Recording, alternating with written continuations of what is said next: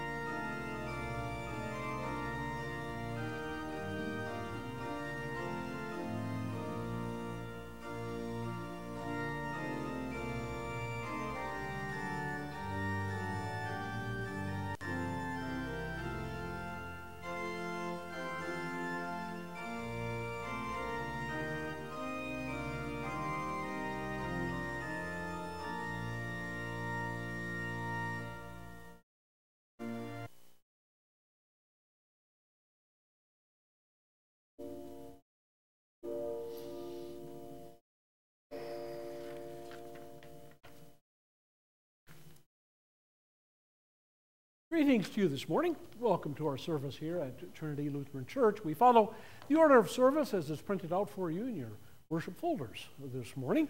And we'll open with the first hymn. We sing verses 1 through 6.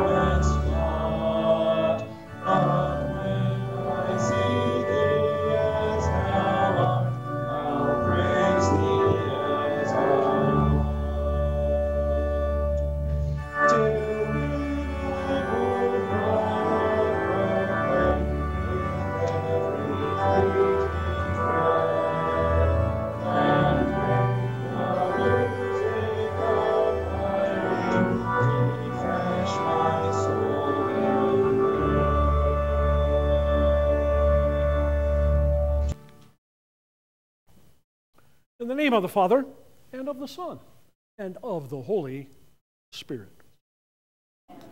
Beloved in the Lord, let us draw near with a true heart and confess our sins unto God our Father, beseeching Him in the name of our Lord Jesus Christ to grant us forgiveness. Our help is in the name of the Lord. I said, I will confess my transgressions unto the Lord.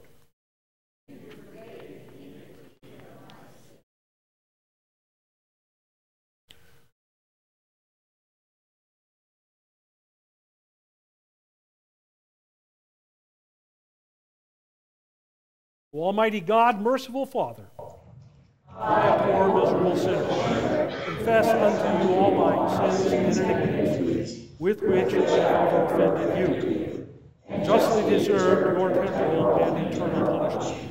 But I am heartily for them, and sincerely repent of them. And I pray you of your boundless mercy, and for the sake of the holy, innocent, bitter sufferings of death, of your beloved Son, Jesus Christ, be merciful to me, a poor, sinful being. Upon this, your confession, I, by virtue of my office as a called and ordained servant of the Word, announce the grace of God unto you.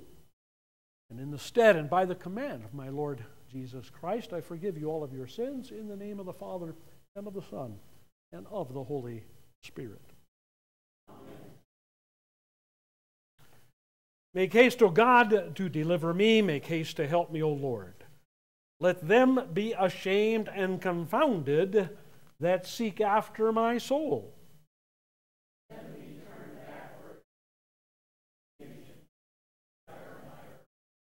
Praise the Lord.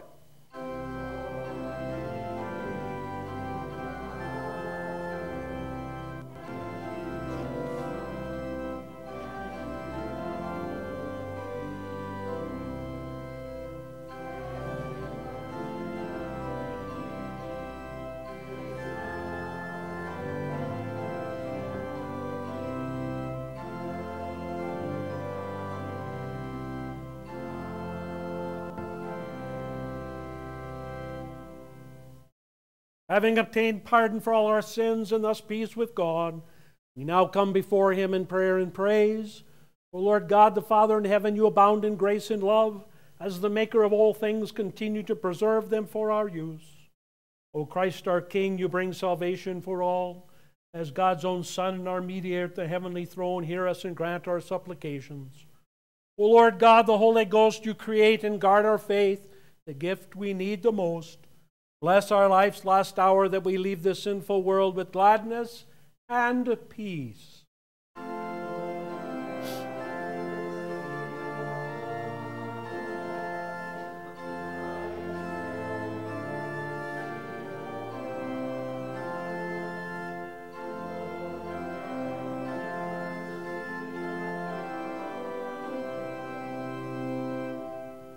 Please be seated. Let us give glory to our God. Glory to God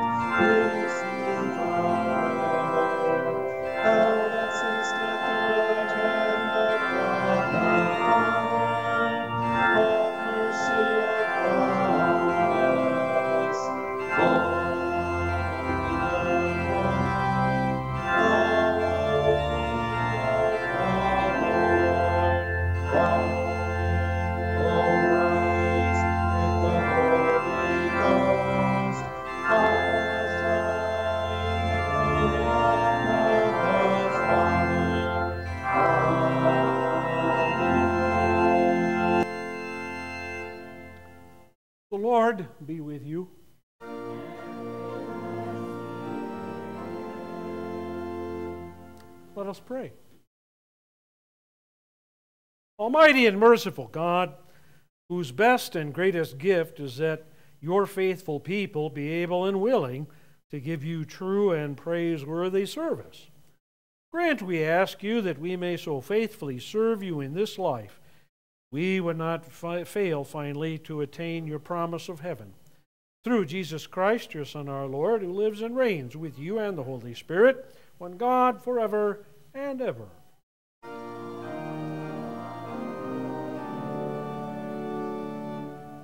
Our Old Testament reading for this morning comes to us from the prophet Isaiah, chapter 29. Is it not yet just a little while? Before Lebanon will be turned into a fertile field, and the fertile field will be considered as a forest. On that day, the deaf will hear the words of a book. Out of their gloom and darkness, the eyes of the blind will see. The afflicted also will increase their gladness in the Lord, and the needy of mankind will rejoice in the Holy One of Israel. For the ruthless will come to an end, and the scorner will be finished. Indeed, all who are intent on doing evil will be cut off, who cause a person to be indicted by a word, and ensnare him who adjudicates at the gate, defrauds the one at right with meaningless arguments. Therefore, thus says the Lord who redeemed Abraham concerning the house of Jacob Jacob shall not now be ashamed, nor shall his face now turn pale. But when he sees his children, the work of my hands in his midst, they will sanctify my name. Indeed, they will sanctify the Holy One of Jacob and will stand in awe of the God of Israel. Those who err in mind will know the truth. Those who criticize will accept instruction. This is the word of the Lord. Our psalm portion is from Psalm 146. The Lord opens the eyes of the blind. The Lord raises up those who are bowed down. The Lord loves his righteous. The Lord protects strangers. He supports the fatherless and the widow. The Lord will reign forever.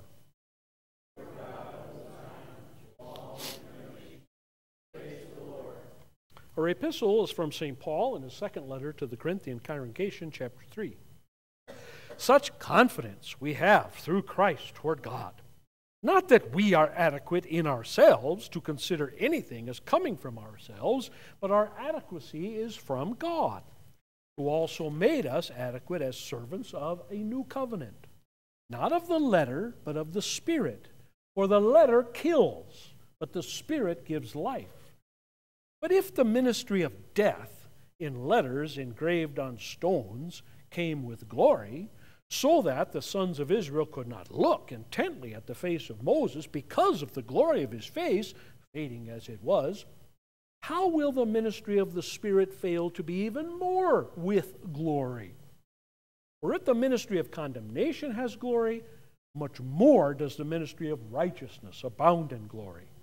For indeed, what had glory, in this case, has no glory, because of the glory that surpasses it. For if that which fades away was with glory, how much more that which remains is in glory? This too is the word of the Lord. I will bless the Lord at all times. His praise shall continually be in my mouth.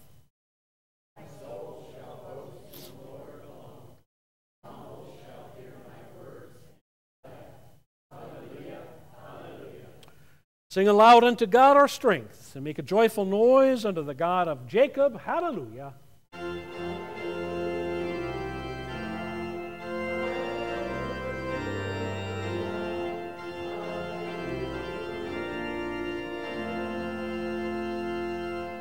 We rise for the gospel.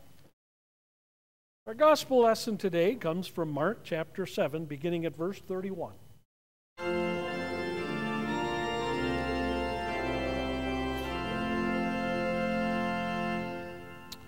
Again, Jesus went out from the region of Tyre and came through Sidon to the Sea of Galilee within the region of Decapolis.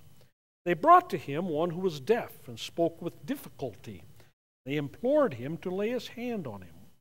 Jesus took him aside from the crowd by himself and put his fingers into his ears, and after spitting, he touched his tongue with the saliva, looked up to heaven with a deep sigh, and said to him, Ephphatha, that is, be opened. And his ears were opened, and the impediment of his tongue was removed, and he began speaking plainly. And he gave them orders not to tell anyone, but the more he ordered them, the more widely they continued to proclaim it. They were utterly astonished, saying, He has done all things well. He makes even the deaf to hear and the mute to speak. So ends the gospel.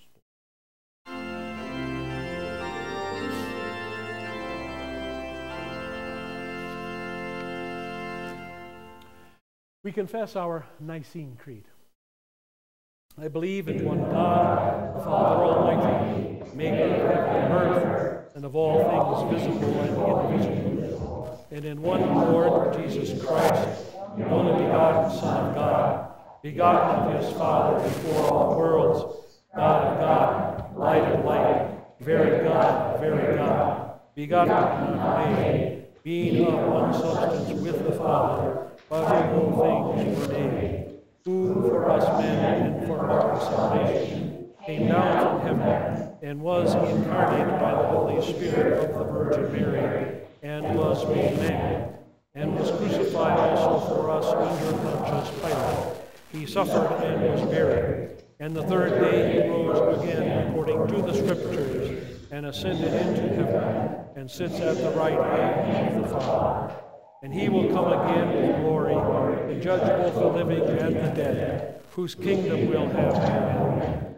And I believe in the Holy Spirit, the Lord and giver of life, who proceeds from the Father and the Son, who with the Father and the Son together is worshipped and glorified, who spoke by the prophets. And I believe in one holy Christian apostolic church. I acknowledge one baptism for the remission of sins and I look for the resurrection of the dead and the life of the world to come. Amen. Please be seated for the hymn of the day.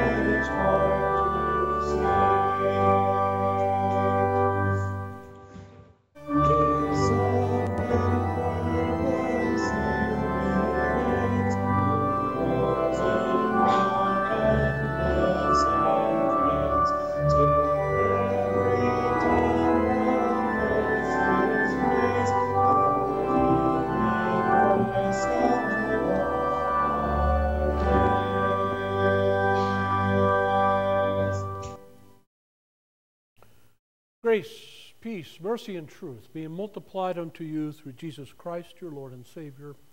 Amen. God's word upon which we base our meditation briefly this morning is the last verse of the gospel reading. And they were utterly astonished, saying, He has done all things well. He makes even the deaf to hear and the mute to speak.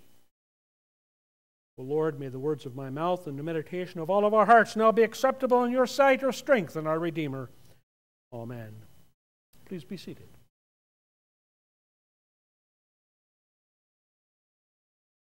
To fellow redeemed in the Lord,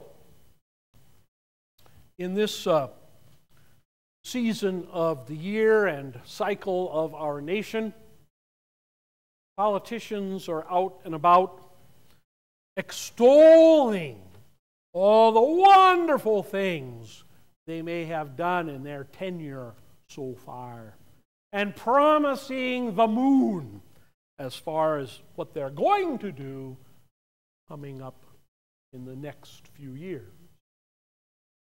Very often, our response to all this may be, Yeah, but what have you done for me lately?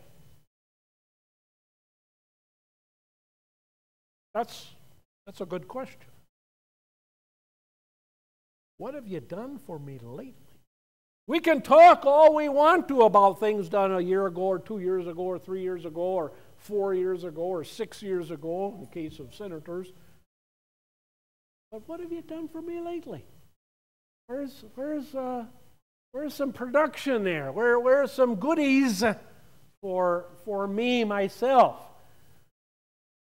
My grocery basket is nearly empty, and yet the bill is out of sight. The taxes keep going up. People I know out of work, others suffering in other ways. My health insurance doesn't cover diddly squat. I got problems here, buddy. What are you going to do for me? Fair questions. Very seldom get answered, do they? But they're fair questions. What about God? You ever ask about that? You ever ask about Jesus that way? You ever, in your prayers, for example, say, Well, you know, Jesus, what have you done for me lately? Yeah, yeah, I, I, I know all about coming into this world and dying for sins, and yeah, but what have you done for me lately? Anything? Something? Is it good, bad? Is it more good than bad, more bad than good? What, what's the situation here? Is it what, what you expected? Does God come through the way you expected? Or has He kind of let you down? Less than you expected. Fair questions. Yeah, fair questions. I, I don't condemn anyone that has questions like that. I questions myself sometimes. You don't, you don't think things get kind of tiring? No, I, I'd like to look out on full pews. I'd like to have more than six or eight people in Bible class. No, I'd like to have a whole cadre of new people come in. in. Not that I don't pray for that every night, every day. Kind of like that to come through just, just once. Myself, it's just me speaking. I don't know about you. I'm sure you have other things. And you may say also, What have you done? Our text gives us the answer. The people of the Decapolis, they cried out, he has done all things well. Hmm. all things well. Let's talk about that a little bit. You have to understand where we are in Jesus' ministry. We're towards the end. He's only got a few more months left. And he takes a great deal of time from all intents and purposes, from, from, from what it looks like, doing nothing. You know, the, the, the, the Bible says here that he went out from the region of Tyre. Well, that's about 120 miles from where he's going to be. That's a long way to walk. You know, he doesn't have a car. He's not taking a train. He's not flying in a helicopter or Air Force One or something like that. Okay? About 120 miles, and he's not going directly, he's going by way of Sidon. This down the coast and then across and down to the Sea of Galilee and then around the Sea of Galilee to the Decapolis, 10 cities. And it's not even, I mean, it, technically it's part of Israel. Technically it's a part of the, uh, uh, the area of Herod's rule, so you could say it's a Jewish area, but it's really not. The Decapolis is, is named that. It's 10 cities, it's in Greek. Decapolis, okay? And, and so uh, it, it's, uh, it's an area of, of Greek influence, it's an area of pagans, it's an area of mostly Gentiles. Very few Jews live there. Very few. He's been in this area a couple times before. That's where he drove the herd of, uh, or drove the demons into the herd of pigs, and drove the pigs over into the Sea of Galilee, you know, okay, from the demoniac. He was a Gentile. So he, it, it, it could have taken him anywhere from six to eight months to walk that distance from way up in Lebanon all the way down the coast and all the way across the Bekaa Valley and all the way over to, towards the Jordan and then all the way down the side of the Sea of Galilee, all the way to the could have taken as long as six months, maybe longer. And there's not a peep in any of the gospel writers about what in the world he was doing that whole time. Think about that.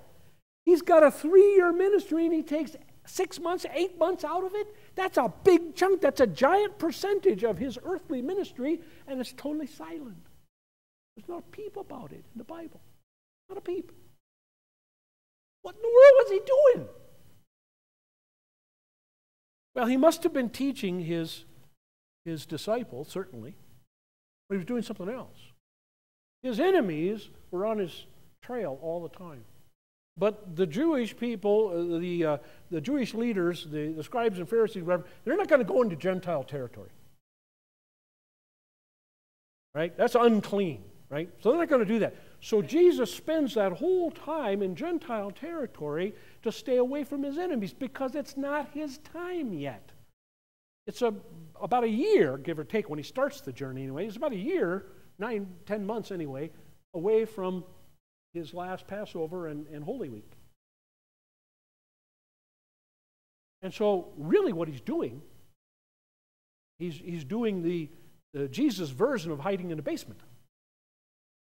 He's, he's doing Jesus' version, version of staying away from answering any questions, staying away from saying anything that might get him in trouble, staying away from, from any controversy, staying away from the uh, enemy's clutches. Hmm? That's what he's doing. Keeping a low profile. Because he doesn't want to be captured and taken off to Jerusalem or, or killed in Galilee or something like that and not fulfill prophecy. Right? So he's doing that for, for us, my friends. Okay, so Matthew tells us that when he gets to Decapolis, in Matthew's version of the story, uh, he gets to the Decapolis and he gets up on a high mountain, a high hill, uh, and he sits down and, and again begins to teach. He's basically, again, teaching his disciples. But a lot of people have heard about him, and so a lot of people come to listen in. They're listening in, basically, on what he's teaching his disciples.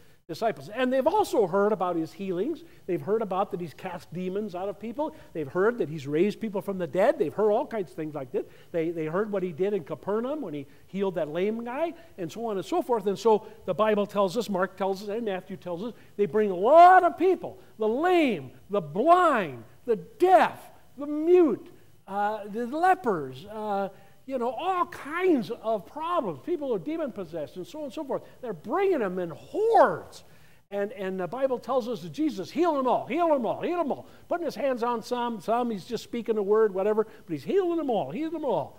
And Mark, for whatever reason, you know, Mark's really recounting the gospel according to Peter. That's what he's doing. He's Peter's uh, kind of companion and buddy, uh, you know, like Luke was Paul.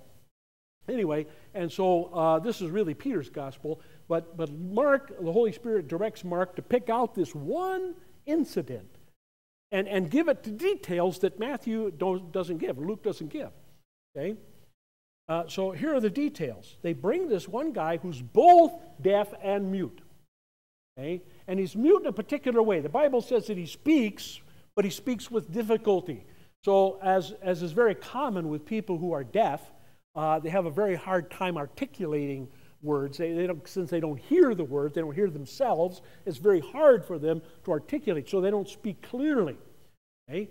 Uh, the Greek here kind of in, in gives us the idea that his tongue was also kind of tied in a way. So maybe he had a, a speech impediment. Maybe he have a cleft palate. I don't know. Maybe he had some other, uh, there's all kinds of medical uh, uh, uh terms for those stuff, but basically your tongue just does not work correctly. Your palate does not work correctly with your tongue, and, and so you can't speak right. And, and we don't know if he was born deaf or he became deaf somehow, but anyway, he couldn't hear at all. And so uh, Jesus decides to deal with this guy, but he deals with him a little differently. He's not just sitting there and he's healing people. He, he gets up, he makes some effort here. He gets up, he takes this guy away from the crowd. Now, why does he do that? Why does Jesus do that? Why, why does he take this deaf mute away from the crowd, you know, down the other side of the hill or whatever? He doesn't want to make a spectacle. He does not want to make a spectacle of himself. He's, enough, he's got enough fame as it is, and again, doesn't want to attract the attention of his enemies. And he doesn't want to make a spectacle of this guy. He has sympathy for this man. He, has, he has real sympathy. He has real, real feeling, real com- compassion for this fellow. He doesn't want this fellow to, to, to be the, the, the object of, of people's staring. Right? He, he, takes him aside, takes him maybe behind a tree, who knows? You know, behind a big boulder or something. Takes him back. And, and then he does something else. He sticks his fingers in the guy's ears. He says, I'm going to do something for your ears. Huh? That's what he's telling him. He's kind of sign language. And then he spits on his, on his, in his hand and he touches the guy's tongue. He said, I'm going to do something for your tongue too. I'm going to do something for your mouth. I'm going to, I'm going to make you able to hear. I'm going to make you able to speak. Sign language. Again, showing this guy, hey, I don't mean to harm you. I'm going to do something good for you. And then, and then he does something else real interesting. He sighs. And this word here, really fascinating. This word, this sigh, is the same word that's used later on when he sighs over Jerusalem or when he sighs in the Garden of Gethsemane. Think about those times. Those were sad times for him. Those were times when, when he really felt bad. Now, is he feeling bad for this guy? Yeah, he is. He, this guy's had to live his whole life. We don't know how old he is, but he's had to live his whole life so far without being able to speak right and without being able to hear. And so very difficult for him. But I he's more he's sighing more than that. He, he's sighing over, you know, what is this? I mean, really, what, what is this deaf and dumb thing? Except another, uh, another uh, uh, sign of the fall of sin, isn't it? Fall into sin. It, it, it's really a consequence of, of living in a sinful world. You know, folks, you have to, you have to think about this. And, and, and I, know, I know this is hard for you sometimes. But please, please take, take what I'm going to say to heart. Okay? Very often I know that, that when bad things happen, things that, that are unpleasant, things that are painful, things that are difficult for you or your family members or somebody, and, and I know it's real easy at that point to think, well, this is because of something I did. This is because I didn't pray enough. This is because I didn't go to church enough. This is because I didn't give enough offerings. This is because I, I, I, or this is because I curse too much. Or this is because I lust too much. Or this is because I, I, I cheat too much. Or, or lie too much. Or, or whatever. I, I know that's, I, I know that that's easy to think of. But it's not true. Jesus took the punishment for those sins on the cross. You you cannot be punished for them. I don't care how bad they are. You know, I, I, I, I told this to a guy one time. He was addicted to pornography. I, I said, I said, you know, I, I don't care if you spent four hours, you know, looking at looking at the cruddiest junk on the internet. That was paid for. The fact that you lost your job may be a consequence of that because human resources found out about it, but it's not punishment from God. Get that out of your head. I, I know it's almost impossible to do, but get it out of your head. Get it out of your head. Okay? You cannot be punished for your sins because Jesus already was. Eh? Okay? The sigh that Jesus makes here is a sigh about the consequences of the fall. The sigh is Jesus saying, This is just what happens in a sinful world. Things are broken. Germs, bacteria, viruses do their dirty business. War and crime, hate and prejudice, bigotry and cheating and lying all have their terrible consequences, and those things are sins of the fall. They are products of our old Adam. And so the consequences that come from them are not punishments, my friend. They are not. They are simply the consequences of living in an evil world. And I have said this to parents who are burying a six month old child. And I have said this to people who are 30 years old and burying their spouse from cancer. And I have said this to 80 and 90 year olds who are laying on their deathbeds. It doesn't matter when the bad thing happens, or unpleasant, or difficult, or painful thing. It doesn't matter when. It doesn't matter at what point in your life. It doesn't matter anything what the, except the fact that it's not a punishment for sin, it's a consequence of sin. And, and I know you may say, well, there's not a whole lot of difference, it still hurts. Yeah, that's true. But it's not God putting his hand on you. It's not God saying, there, ha ha ha, I gotcha. That, that's not what's going on. That is not what's going on. What's going on is this sigh Boy, these people got it tough, Father. Boy, they got it rough. Lighten up on him, huh, a little bit. And then he says, Ephphatha, be opened. And again, the guy's instantly healed. Instantly he hears, instantly he's able to speak. Notice also what he does. He looks up into heaven. He says, That's where your help is from. Not from around here. Now, Jesus, of course, being Son of God, he could do it himself. But he looks up to his Father. Why? Because in his earthly ministry, he's subservient to his Father. He, he, he says, you know, according to your will, your Father, your will be done, like he did again in the garden. And then what Christ does is interesting. He, then he tells the people, don't say nothing to nobody. Keep this to yourself. And of course, Of course, the Bible says that the more he tells them this, in other words, he repeated this often, don't tell anybody, please don't tell anybody, please, please, please don't tell anybody. The more he said it, the more they went all around in all the villages and all the towns and said, hey, hey, do you hear what Jesus did? They couldn't contain themselves. Not even when Jesus told them not to. They couldn't contain themselves. They had to speak about his glory and his wonderful. And then the other thing he says is, all things he has done exceedingly good. And, and I, want you to, I want to tell you something about this, this verse here. It's interesting. The Greek has the word well first. And it's not just well. Eh, that, that's, a, that's a good translation. I won't say it's not. But, but it means exceedingly good. It means perfect. It means absolutely without any flaws. And that's the first word. And the first word in a Greek sentence is always a word of emphasis. So you could translate it this way perfect. He has done. And then all everything. Everything Jesus has done is perfect. And of course, we could add on to that and will do and continues to do. You believe that? Do you believe? that everything that happens in this universe is according to God's sovereign will. If you don't, you need to. Because that's the truth. That's the truth.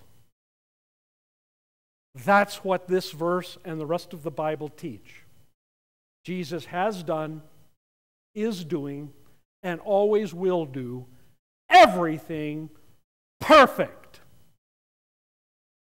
Not perfect according to our judgment. No. No. Not perfect, perfect according to our plans, what we have thought for the future. Not perfect according to our bodies. Not perfect according to our minds. Not perfect according to the way we would like things to go. But perfect according to God's plan of salvation to put the most number of people in heaven that can possibly be there to save all those whose names are written in the book of life. So, go back to our first question What's Jesus done for you lately? Hmm? What's Jesus done for you lately that's good? Well, let's see. Has he given you rest for your soul? Yeah, I think you'd have to admit that. Has he saved you from your sins? Has He given you an inner peace that this world cannot give, that no politician can ever promise and fulfill? Yeah. Why is it then, if that's true, and I know it's true, why is it then we very seldom see these ultimate good things? Why is it that we tend to focus on the bad things? We tend to focus on our aches and pains.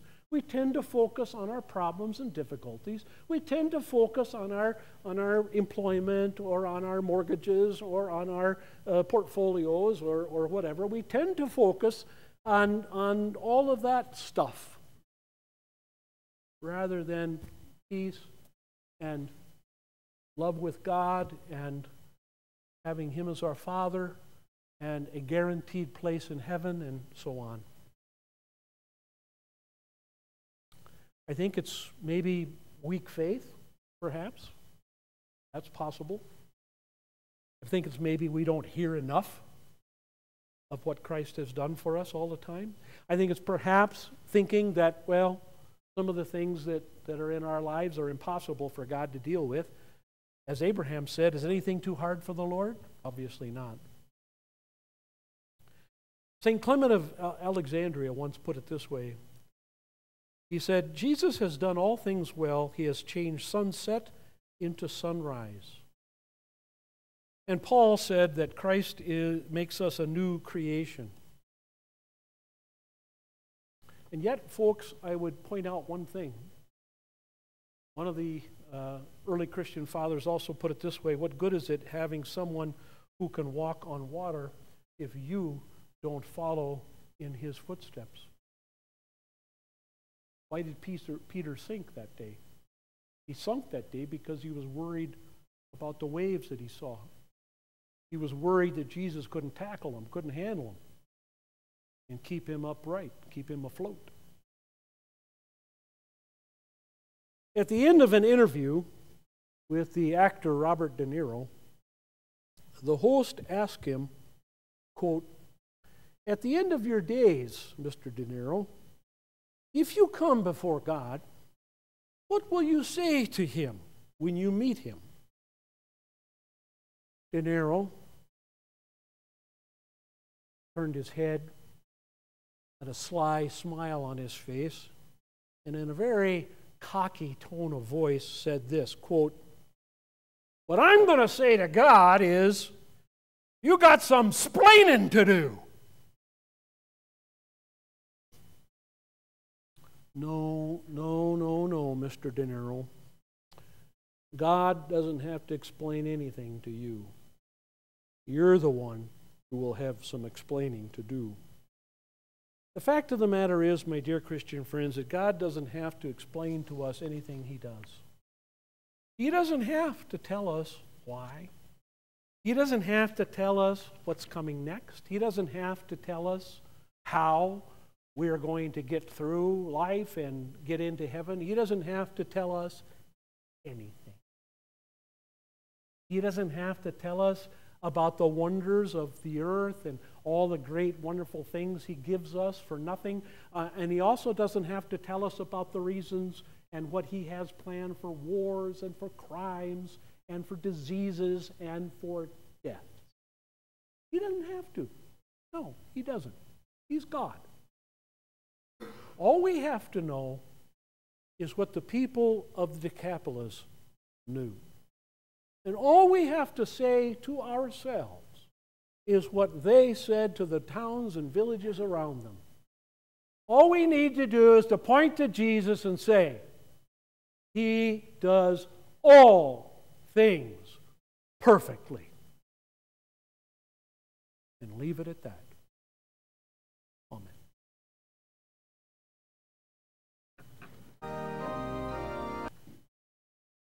And now may the peace of God that goes beyond all understanding keep your hearts and minds in true faith through Christ Jesus your Lord. Amen.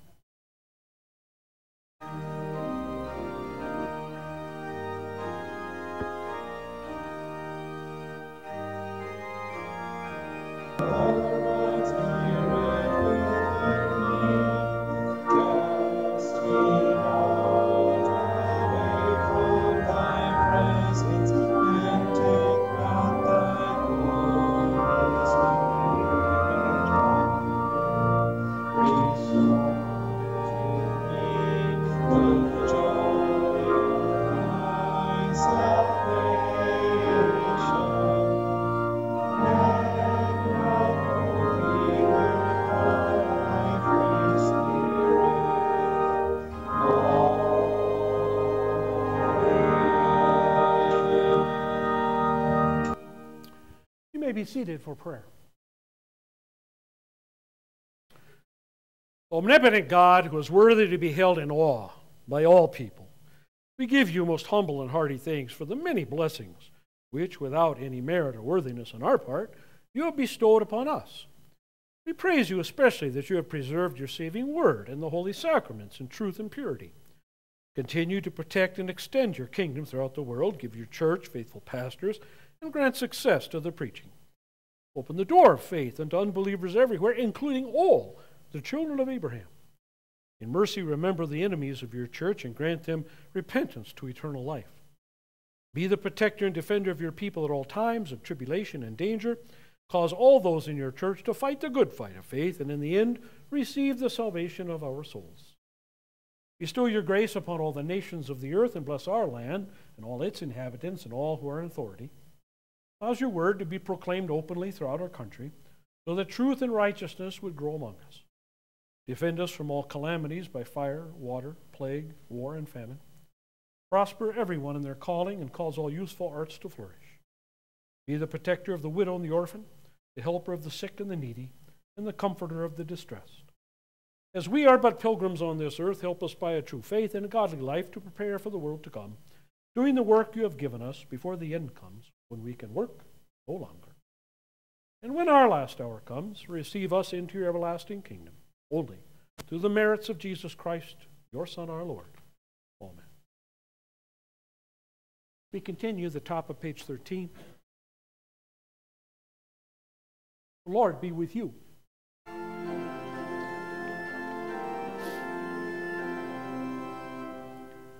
Lift up your hearts.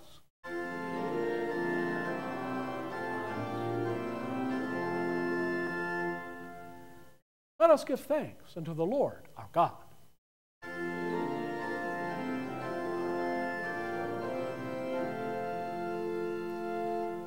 It is truly meet, right, and salutary that we should at all times and in all places give thanks unto thee, O Lord, Holy Father, Almighty, everlasting God, who with your only begotten Son and the Holy Ghost are one God, one Lord.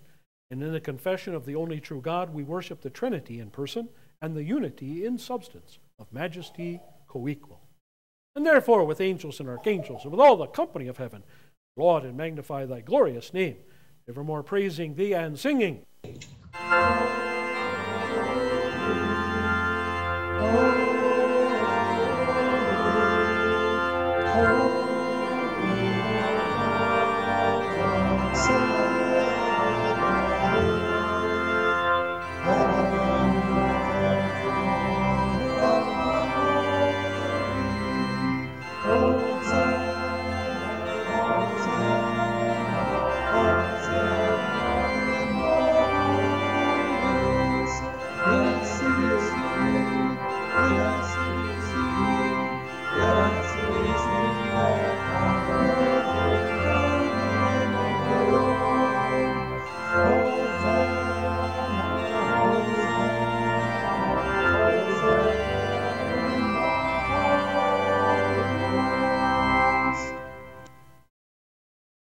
Father who art in heaven, hallowed be thy name. Thy kingdom come, thy will be done on earth as it is in heaven. Give us this day our daily bread, and forgive us our trespasses, as we forgive those who trespass against us. And lead us not into temptation, but deliver us from evil.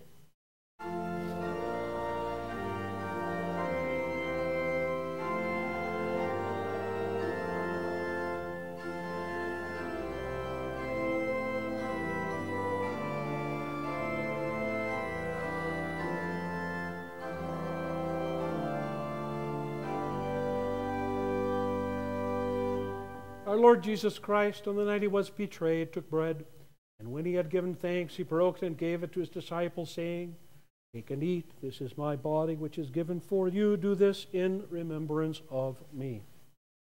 Then he took the cup and he gave thanks and he gave it to them, saying, Drink from it, all of you. This is my blood of the new covenant, which is poured out for you for the forgiveness of sins. Do this whenever you drink it in remembrance of me. The peace of the Lord be with you always.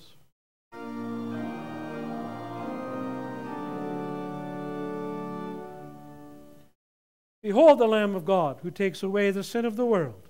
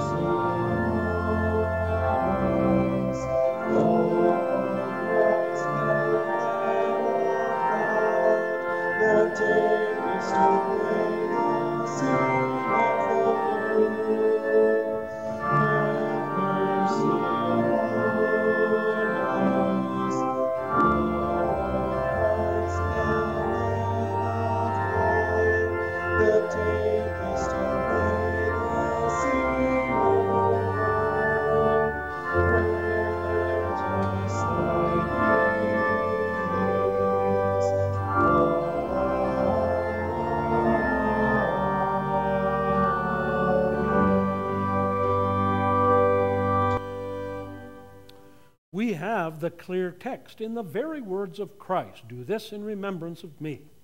These are bidding and commanding words by which all who would be Christians are enjoyed to partake of this sacrament. Therefore, whoever would be a disciple of Christ, with whom he here clearly speaks, we must also consider and observe this.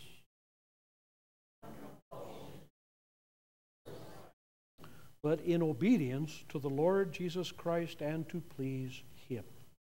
Congregation may now come forward for the Lord's Supper.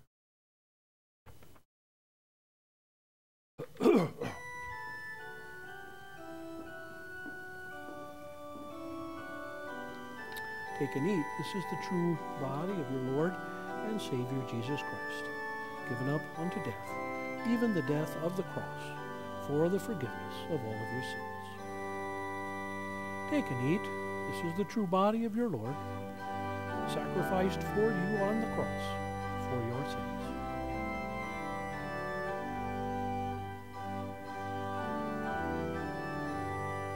This is the blood of your Savior, shed for you. The blood of Christ, shed for your sins.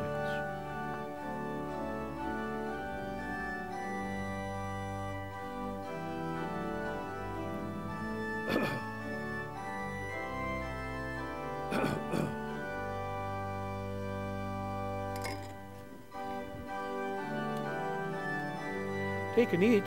This is the true body of your Lord and Savior Jesus Christ, given up for you on Calvary's cross for the forgiveness of all of your sins. This is the true body of your Lord, sacrificed for you on Calvary's cross for the remission of all of your sins.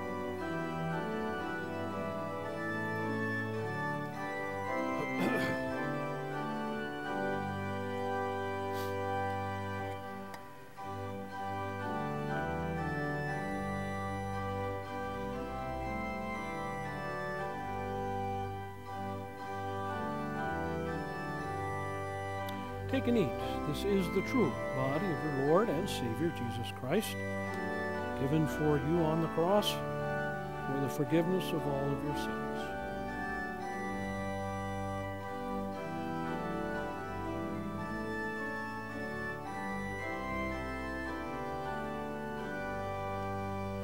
Take and eat. This is the true body of your Lord, sacrificed for you on Calvary for your forgiveness.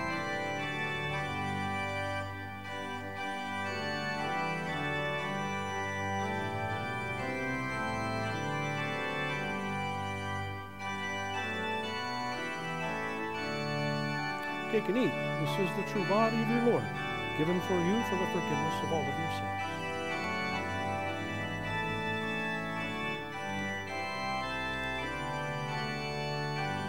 This is the true body of your Lord and Savior, Jesus Christ, given for you on Calvary's cross for the forgiveness of your sins. This is the blood of your Lord, shed for you for the remission of all of your sins.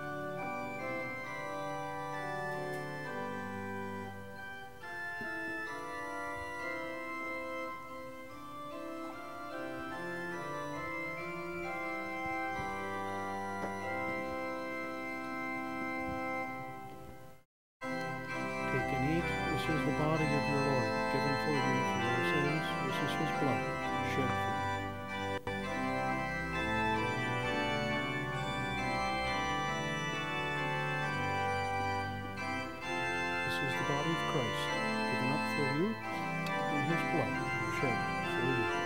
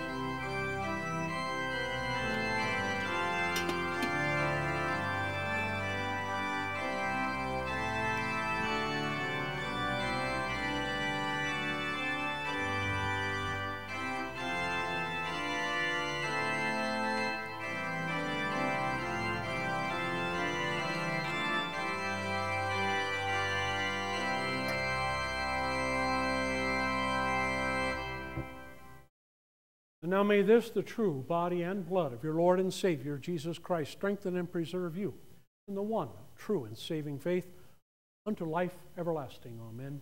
Depart in God's peace. Amen.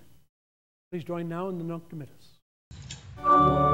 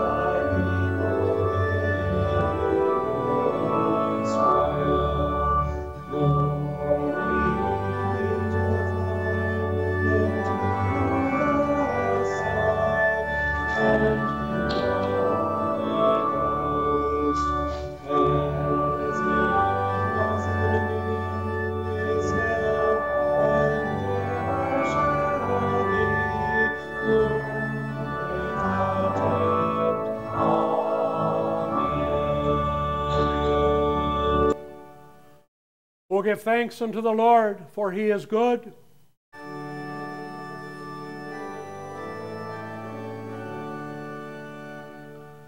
We give thanks to you, Almighty God, that you have refreshed us through this salutary gift. We implore you that in your mercy you would strengthen us through the same in faith toward you and in fervent love toward one another. Through Jesus Christ, your Son, our Lord, who lives and reigns with you and the Holy Spirit, one God, now and forever.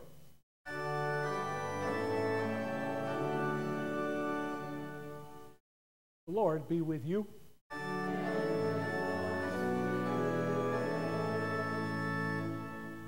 Bless we the Lord.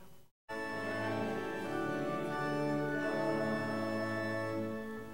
Lord bless you and keep you. The Lord make his face shine upon you and be gracious unto you. The Lord lift up his countenance upon you and grant you his peace.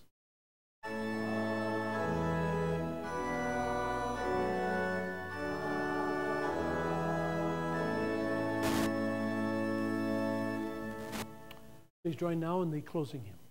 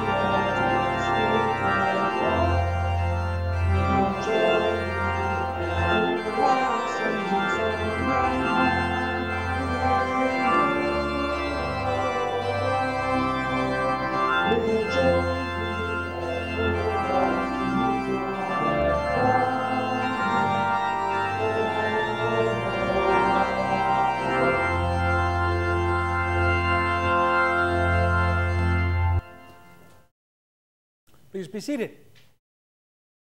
Once again, a very good morning to everyone. Good to see you here Uh, fellowship awaits you over in the fellowship hall, some food and drink there, opportunity for you to uh, share your faith and encourage one another in your faith. Nothing else going on, so otherwise, I'll see you next Sunday.